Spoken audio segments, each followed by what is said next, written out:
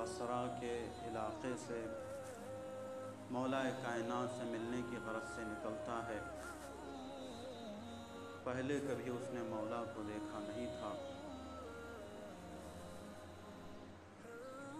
बड़ी मोहब्बत में, बड़े ही शौक़ में, बड़े इश्तियाक में निकला कि वक्त के इमाम का दीदार किया जाए, इमाम की ज़ियारत की जाए। लेकिन जहन में ये था कि मेरा मौला इस वक्त हाकिम है तो वो रास्ता तय कर रहा होगा तो उसके पास आस पास आसपास बॉडीगार्ड होंगे, मुहाफिज होंगे। अच्छे कपड़े जेब तन किया हुआ होगा। वो निकला इमाम के शौक़ में, मुलाकात के शौक़ में। जब कोफा पहुँचा तो रात की तारीकी थी। लोगों ने कहा कि अब तुम्हारा इमाम मिल नहीं सकता, तुम मस्जिद में चले जाओ। वो शख्स रात गुजारने के लिए मस्जिद में चला जाता है।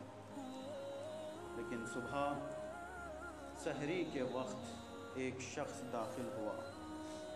वो कोई और नहीं था, मेरा और आपका पहला इमाम इमाम अली।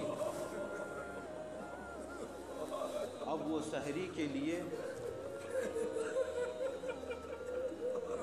रोटी निकालता है।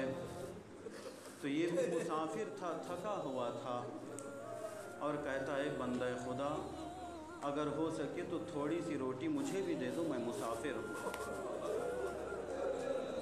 तो अब वो रोटी की क्या कैफियत थी, उसे क्या मालूम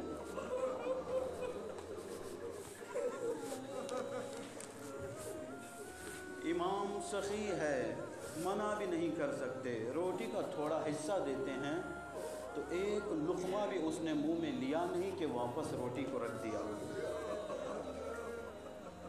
फिर उसके बाद मौला ही से वो कहता है, चूँकि जानता नहीं है कि ये इमाम हैं, कहता है कि कल मैं अली के सामने तुम्हारी शिकायत करूँगा कि अली की हुकूमत में एक मिस्किन की गज़ा कैसी है।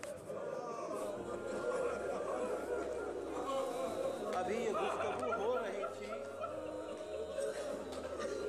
इतने में क्या देखा कि बाहर से मस्जिद के बाहर एक शोर गुल बपा है।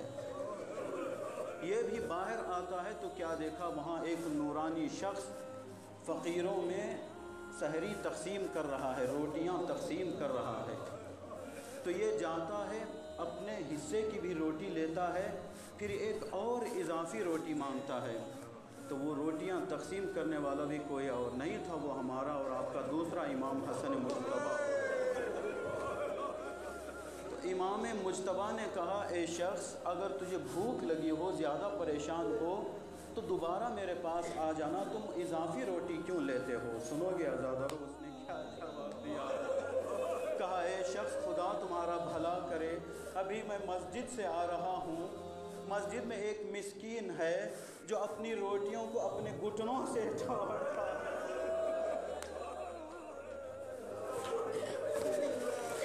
मैं चाहता हूँ कि एक रोटी उसके हवाले कर लेकिन याद रखना कि कल मैं उसके बारे में शिकायत करूँगा। इमाम ने कहा, किससे शिकायत करोगे? कहा, मैं अली से शिकायत करूँगा। तो इमाम ने कहा अशाकी वल मुश्तकी किला हुमा वाहिद तुम जिसकी शिकायत करोगे और जिसके पास शिकायत लेकर जाओगे, वो दोनों एक है। कहा, मौला, आपका मतलब क्या है? कहा रे जो उसको तुम देख कर आए हो, वो कोई मिस्किन नहीं है। वो वक्त का इमाम है और तुम्हारा हाकिम अली इब्न हबी तालिब है, वो परेशान हो गए